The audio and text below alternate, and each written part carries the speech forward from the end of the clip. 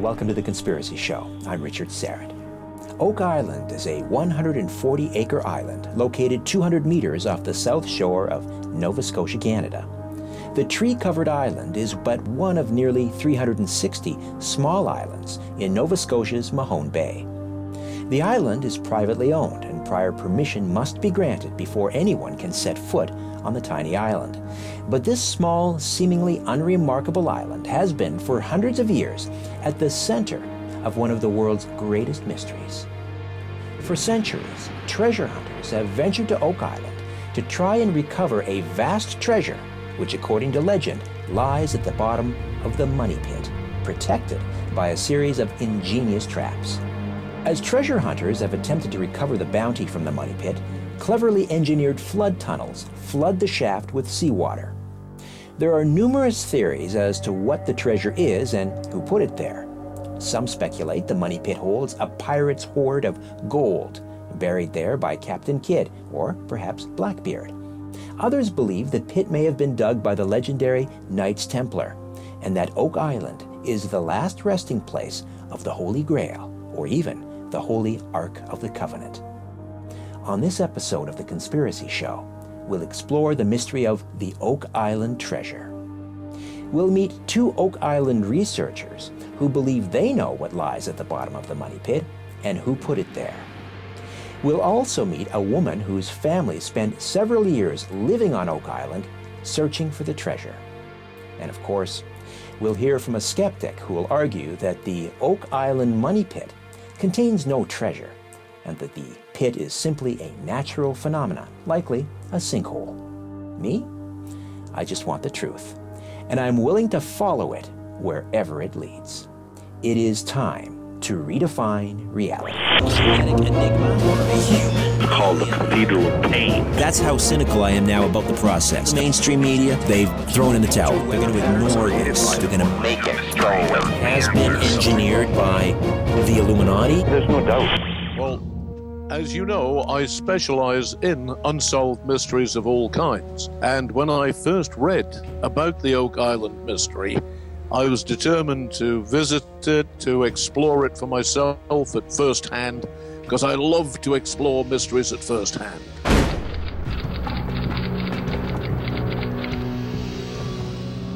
It began in 1795. Three young men, Smith, Vaughan, and McGinnis, had taken a day off work and gone out to Oak Island. It was about a mile long, half a mile wide, and in those days uninhabited and covered in oak trees. As the three young men walked across the island, they came across a clearing.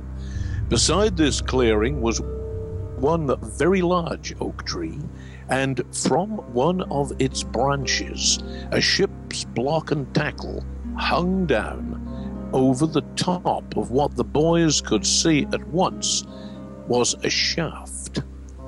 Thinking of pirate treasure, as I think we might have done if we had been teenagers in 1795, the boys began to dig. They went down further, and at the 20 foot level, which was a tremendous achievement for three teenage boys, they came to a platform of oak logs. They wrenched these out, but still nothing except soil. The boys went home, told their families, and a while later, an adult expedition came to the island. And at 90 feet, they uh, discovered an inscribed stone of some sort. They didn't know what it meant. It had ciphers on it. And they took the stone out. And they came back the next morning, and the uh, pit, which had been dry all summer, suddenly was full of water to uh, about 30 feet from the top, which was uh, the uh, ocean level at that point. So it was flood trapped. Well, the inscription, uh, it was a bunch of uh, hieroglyphics of some sort. Uh, people guess what it was. Uh, some people uh, translated it in the 1860s as being uh, 40 feet below, 10 million pounds are buried. That would be pounds sterling. Money Pit uh, goes down. It's been uh, dug down to about uh, 170 feet. And they found layers of wood every 10 feet as they went down, as if you know, somebody was sealing it. And in fact, when they broke open those layers of wood down to 90 feet, that's when the flooding started. And uh, so it's theorized that that was actually an air seal to uh, stop the water from coming up. And then they discovered a tunnel that ran from the money pit uh, out to Smith's Cove at the east end of the island. So there was a, a artificial beach and a flooding system that went from Smith's Cove. And after that, uh, about 20 years after that, they discovered a second similar tunnel that went to the South Shore Cove, about 300 feet away. The water from those flood tunnels, which was the Atlantic itself, would be able to pour into the money pit and we assume that the designers had intended to drown anybody who came into the pit. One expedition after another has attempted to get the money pit. Nobody has succeeded, although one or two very interesting things have come up on the drill bit, on the pod auger, which they used. The drill went into what appears to have been a subterranean treasure chamber of larch.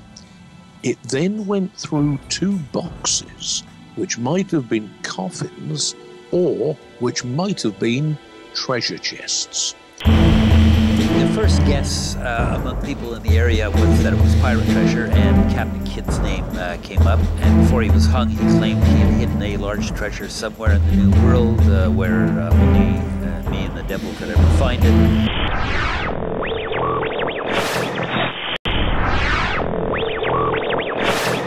So the Onslow Company had, had found this uh, stone. The code seems to be pretty simple. It seems to be a, a single letter, uh, simple substitution cipher. And if you run it through a, a, cryptographic analyzer, what it says is 40 feet below 2 million pounds lie uh, buried. So the question is, is, is this evidence that there's treasure in the pit?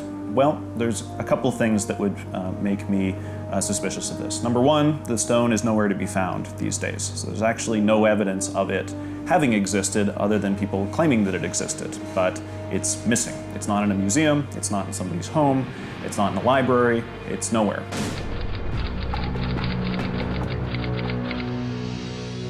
It would make me wonder why would somebody who buried the treasure, if there's a treasure there, let's assume that there is for a second, if there was, why would somebody have to bury a stone not only saying this is where you'll find it, but here's how much treasure is here? Wouldn't they already know that? One of the theories I looked at uh, when I was researching the first book, of course, was that it was a natural phenomenon. Uh, there have been sinkholes uh, found in the area like that, but nothing that deep and nothing that elaborate with those uh, platforms and things like that. When you look in the geography of the Mahone Bay area and indeed all over Nova Scotia, that you find limestone and anhydrite strata, which you also find under Oak Island, and they lend themselves to the formation of natural cavern structures. Um, and indeed, when uh, people have drilled on the mainland close to Oak Island, so for example, in, I believe it was the 1970s, people were digging a sewer system on the mainland and struck a natural underground cavern. In the 1870s, a woman who had bought uh, had farmland on Oak Island was plowing her land and broke through the land. Her plow and oxen and herself broke through into a natural limestone cavern 12 feet under. Um, it was a sinkhole. The description from the eyewitnesses who were there in that expedition, the early ones, 200 years ago, said that the sides of the shaft were brick hard clay.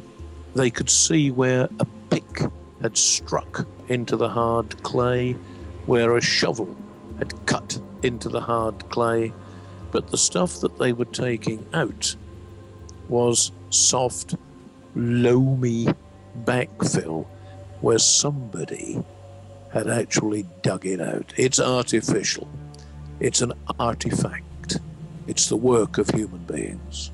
Over the years, uh, people have discovered various things which uh, certainly suggest that somebody had been there a long time ago. For example, coconut fiber in the money pit itself and along the beach. Of course, there are no coconut trees in Nova Scotia. The nearest coconut trees would be probably in uh, South Carolina.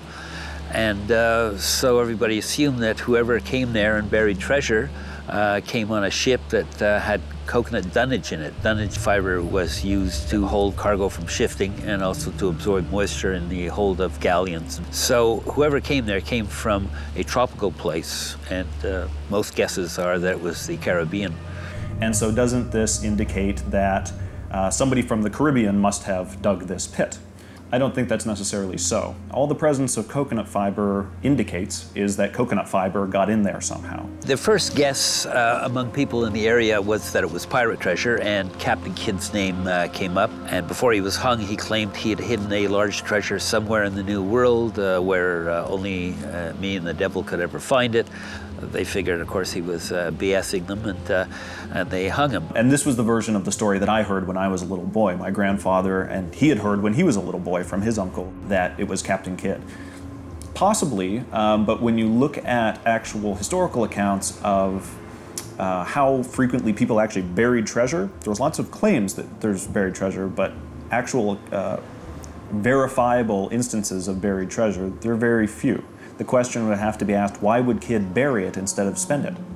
Pirates weren't necessarily known for their fiscal planning sense. So it's not clear to me why he would secret it away, or any of these other groups would secret it away. For whom? Other theories that have been suggested uh, are all over the place. Uh, one interesting one is that the original manuscripts, as authored under the name of uh, Shakespeare but authored by uh, Francis Bacon, were put there. There are also theories that, they, that it's much earlier than that, that uh, it was per perhaps the Masons that did it, the uh, Knights Templar. Of course, one of the wildest of all the theories was that the Oak Island mystery had something to do with the supposedly lost kingdom of Atlantis, and that the highly technical, long lost Atlantean civilization was secretly at the back of whatever we think or guess might be buried under Oak Island. Dad uh, just took a look. He just took a look down the new shaft and he tumbled in.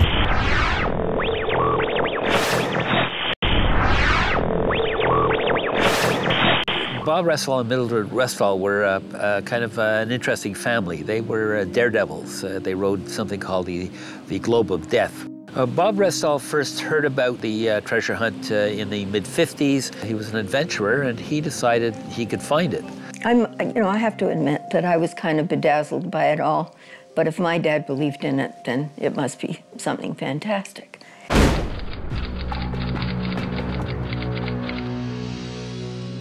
Well, they had no hydro, they had no telephone. It wasn't well insulated. The ice formed on the inside of the place. It was a really rough life. It was a hard life.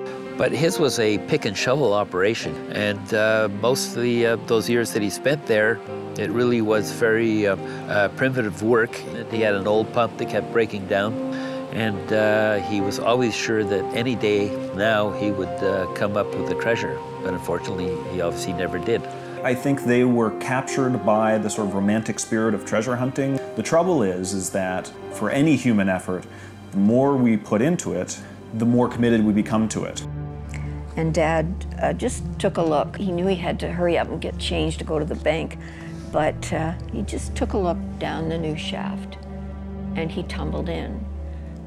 And then Karl Graeser, our millionaire investor from United States, rushed in and he too fell into the shaft. That it was a couple of days is what I remember. And that when they uh, went to get the bodies, they too became overcome with fumes, or at least not overcome, but they could smell it and they weren't going to die that way. There have been six people altogether killed in the search for the treasure, and the uh, biggest tragedy was uh, when the Restall family uh, arrived there, and uh, they came in 1959, stayed till 65. In 1965, uh, uh, the Rest, Mr. Restall, Robert Restall, was killed along with his son Robert Jr. And uh, that was pretty tragic, obviously, for Mildred Restall. And I interview, I've interviewed her several times over the years. And uh, Mildred always told me, she said, I didn't like it. She that was Bob's dream, it was Bobby Jr.'s dream, it was never mine. And she describes the living conditions as being pretty primitive. Uh, no running water, no electricity, uh, having to take a boat to the mainland. There was no causeway then. But she stuck by her husband and uh, by his dream. I believe that it will one day yield its treasure, and by hook or by crook, I'd be down that shaft looking for what was down there.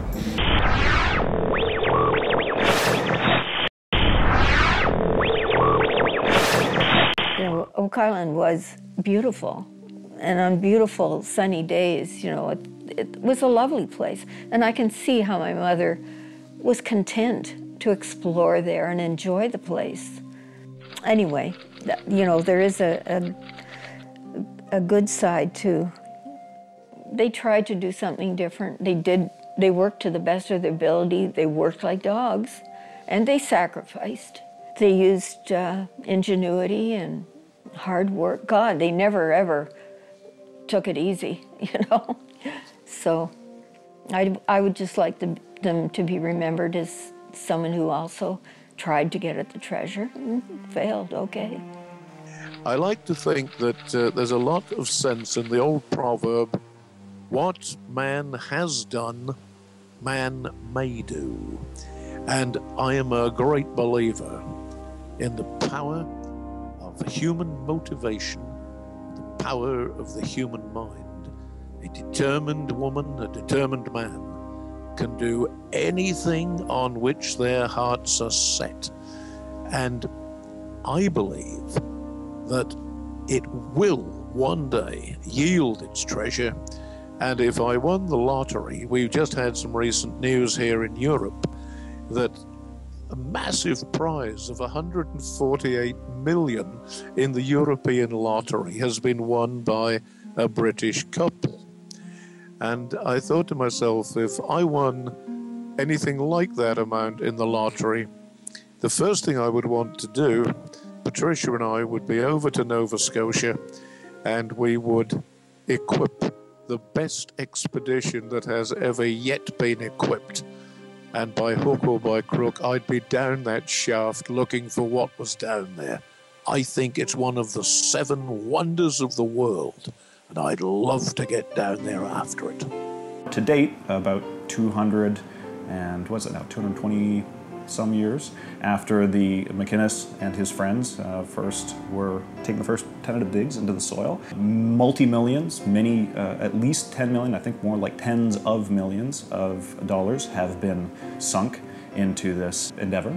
And so Oak Island has been come to colloquially be known as the money pit. And you can kind of take that two ways. Either it's a pit with money somewhere in it, or it's a pit into which people have been sinking money for now hundreds of years. And I tend to favor the latter explanation. Do you think Oak Island will ever give up its treasure? No, I don't. I don't. I do think there's a treasure. I know there's a treasure, and I think it's immense beyond belief. But now, you know, after they left, I mean, after the, the accident, uh, the uh, next person who came into the island changed the surface, changed the terrain. It's something like 20 feet lower than it was. It's like decapitated. I believe they had four pumps altogether and they were capable of taking 2,000 gallons a minute. That's four times what my dad did. And it still couldn't keep up with the water. And I think, of course, that all that moving the earth has totally destroyed the inlet tunnel. And Dan Blankenship told me uh, that he believed that there were many inlet tunnels, not one, not two. He thought maybe 20 or 22. And you know something? I think he's right. And I think there may not be 22. There may be only six. It doesn't matter. I mean, who's going to spend millions or billions cutting off the water to maybe to see what's under that cavern, you know, under the bedrock, in that cavern under the bedrock. So I just, I don't see it happening. I don't see that kind of investment going into it. There are, it seems, as many theories as to what treasure lies at the bottom of the money pit as there are oak trees on Oak Island. Pirate plunder, ancient religious relics, gold and silver coins from a shipwrecked Spanish galleon. One researcher even speculated that English philosopher Sir Francis Bacon used the pit to hide documents proving him to be the author of William Shakespeare's plays. I believe the evidence suggests the money pit is not merely some natural phenomenon, such as a sinkhole. There is something very valuable buried on Oak Island. However, whatever is down there seems destined to remain there. The intricate system of flood tunnels used to booby trap the money pit appears to have been damaged beyond repair by a series of reckless treasure hunters over the centuries. Yet, there is a real life version of buried treasure that is neither fable nor myth, and that is the buried treasure that lies within us all a veritable gold mine of personal fortune and wealth just waiting to be tapped. Down in our hearts and souls dwells a treasure chest laden with gifts and talents that can take us anywhere and everywhere we've ever hoped to venture. Now I'd like to know what you think. You can contact me through the website www.theconspiracyshow.com. In the meantime, don't be afraid.